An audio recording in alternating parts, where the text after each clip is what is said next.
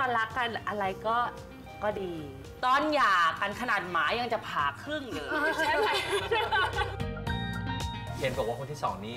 รักมาก รักมาก รักแบบหลงอะค่ะหลงจะลืมตัวเองไปเลย คือเขาอยากได้อะไรประเคนให้หมดหรือประชดแบบว่าเขามีคนอื่นเราก็มีบ้างอะไรอย่างเงี้ยไหมเคยคิดเคยอยาก จะมี 20 คนก็แล้วแต่แต่มีทีละคน ไม่ได้แลกนะ ไม่ได้ว่า ตอนนั้นเนี่ยบทบาทนอกจากการเป็นภรรยาแล้วเราเป็นยังเป็นคุณแม่ด้วย มันจะมีความเจ็บปวดและการตัดสินใจที่ยากขึ้นหลายเท่า